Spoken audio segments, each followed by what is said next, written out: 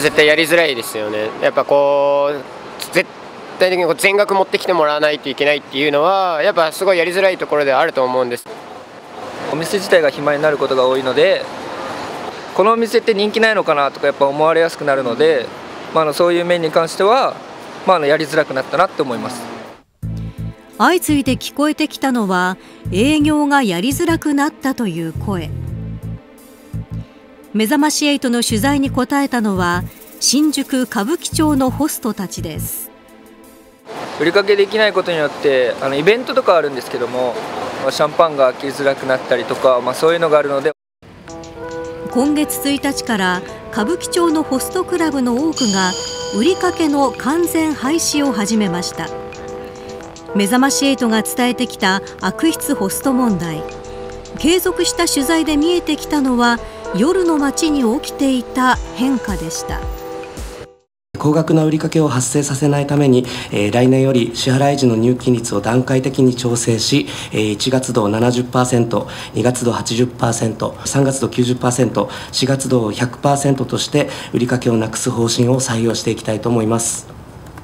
女性客が高額請求を受けてそれをホストが立て替える売りかけその返済をめぐりトラブルが相次いでいました。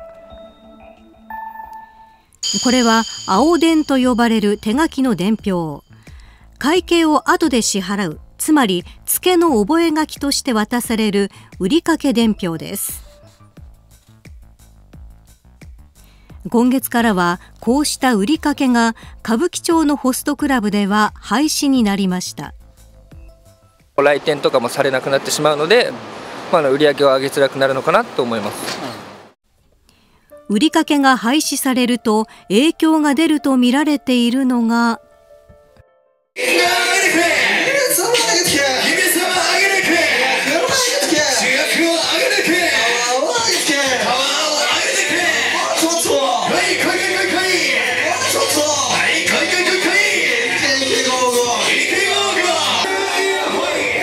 額300万円のシャンパンタワーに。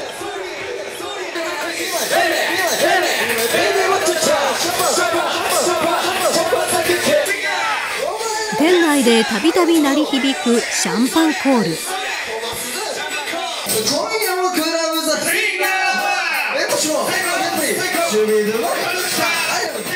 これは今年1月にめざまし8が歌舞伎町のホストクラブを取材した際の映像。こちらの店舗では売りかけを推奨していないため。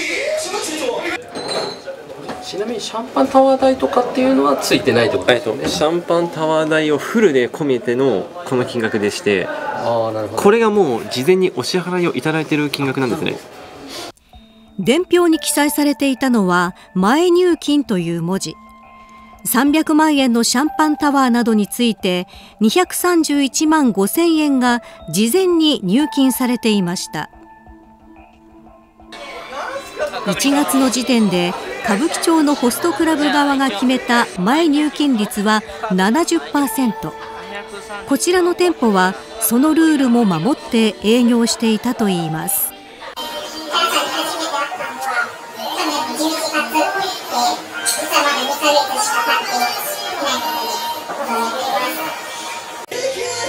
2ヶ月前に出会ったホストのために230万円を超える大金を事前に用意した女性。一方であしてたんだ。でやっぱ来づらくなった？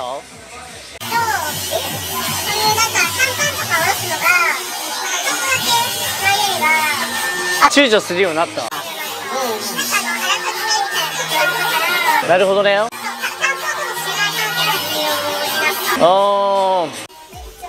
売りかけができなくなり高額なシャンパンなどを躊躇するようになったと話す女性客も。業界のイメージ改善を目指し動き始めた売りかけ廃止のルール。今年2月こちらのホストクラブが決断したのは。ちょっと3月いっぱいでお店をちょっともう閉めさせてもらって、あのー、完全に東京というか歌舞伎町からちょっと撤退することになって。ホストクラブの代表が明かしたのは3月末に歌舞伎町から撤退すること。まあ、本当にちょっといろいろ考えた結論で正直いろんな今回、あの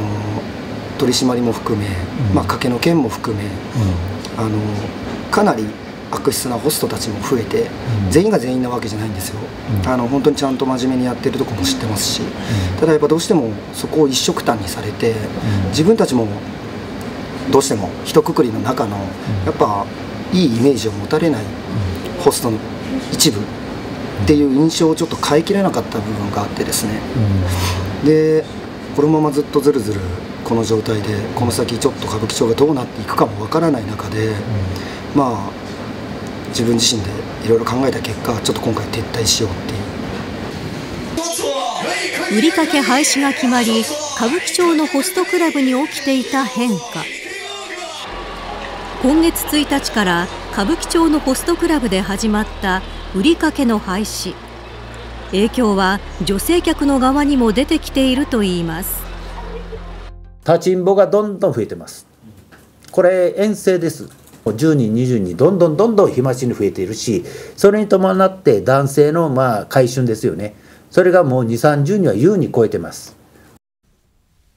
路上売春いわゆる立ちんぼをする女性たちが増えていると指摘するのは青少年を守る父母の連絡協議会の現秀森代表。売掛金の廃止が決まって以降その数が急増しているというのです。お姉さんよかったらカイロいります。はい寒いんで使ってください。いつも何時ぐらいにいるんですかここ、えー、2時とかです。2時？昼の2時とか。そうか警察とか大丈夫。本当、うん、いた、うん、歌舞伎町の一角にある大久保公園周辺先月めざまし8は週3回行っている聖母連の見回りに同行させてもらいました。こちらの女性は。お姉さん前向こう立ってます。ね週何回ぐらいも立ってる。タフまだ下まで行て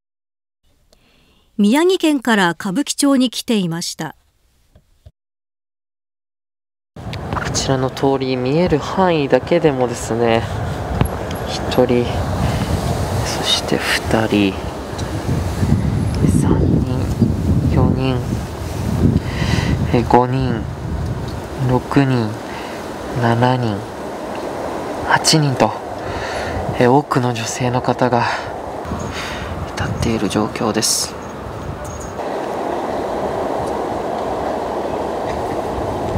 大体あのガードレールの一個区切りに一人ずつあえて立つ感じなんでいつも。去年10月に取材した時と比べても立ちんぼの女性が増えているのがわかります。警察が見回りを実施。あ今警察が来ましたね。声かけていっています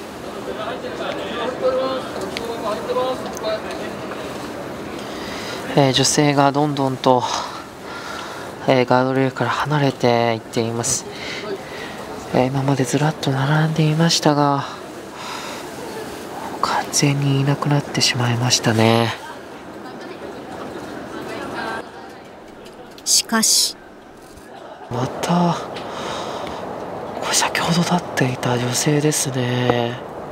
もう、え警察が来てからまだ分ほどしか経っていませんがもうすでにガードレールのそばにまた立っています。え警察は、えちょうど大久保病院の前に今来ています。ぐるぐると本当に回っています。その様子を気にしながらこちらの手前ではしゃがんでですね警察が早く行かないかとやり過ごす様子が、えー、見て取れます。警察のもうしゃがんでガードレールからですね様子を伺っている女性たちが、えー、2人います。先ほどの宮城県から来ているという女性に稼いだお金の使い道について聞くと。ポストとかに飲みに行く分のお金を使えて使えたらなみたいな感じで言ってるだけ。聖母連の現代表によると最近は地方から歌舞伎町まで来る女性が増えているというのです。大阪から5人組とか大阪からの立ちんぼがよくもう、えー、自分たちはあのアウトリーチしながら調べてますけども。で喋ってたら関西弁やと。10日で100万ほど握って帰りますそういうことが大阪に帰って言ってるもんやからまた大阪からどんどんバスタを利用してきます。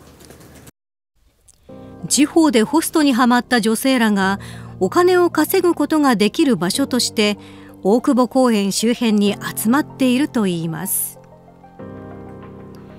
一方で聖母連には売りかけ以外の面でも女性や保護者からの相談が相次いでいました。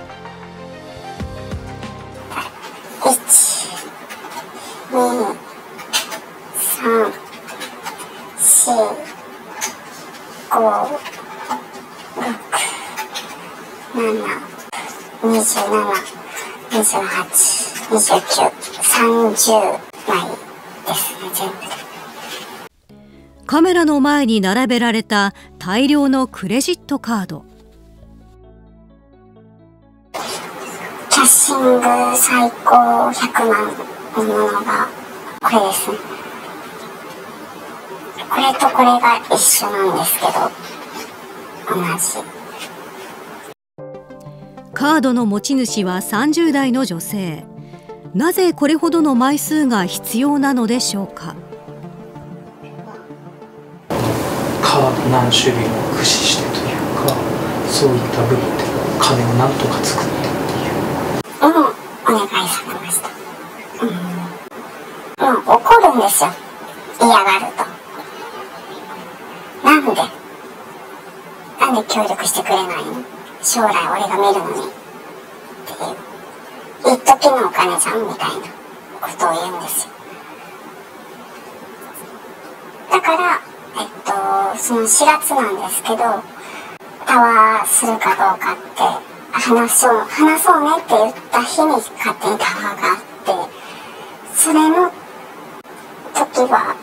350万払ったんですけど現金とカード。でその次の時行った時にお店着いた瞬間カード出してって。言われて。今までホストクラブで使った金額みたいな部分も聞かせていただければなと思ってえっと1年弱で2500以上。2500万以上です。女性が残していたクレジットカードの領収書。数分刻みで総額250万円が決済されていました。強引な接客を訴える女性。さらに海外での出稼ぎを強要されたといいます。言われたのは海外出稼ぎあと国内風俗あと AV これ結局出てないんですけどあとは消費者金融に行ってお金を作ってこいっていうところですかね。海外出稼ぎはもう強要されたのでもう仕方なくスカウトエージェントを紹介してきたので連絡取りました。海外風俗っていうのは種類で言うとどういった？ソープです詳細と書かれたメッセージ。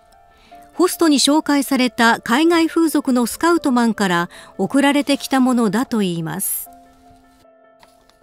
待機時間基本18時から4時。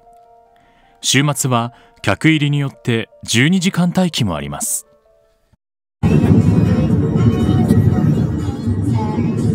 車窓から見えるきらびやかなネオン。これは女性が海外に出稼ぎ売春に行った時に撮影したものです。私も近くで、エージェントが決めた、まあ、一応60分。3万バッグの大体1日で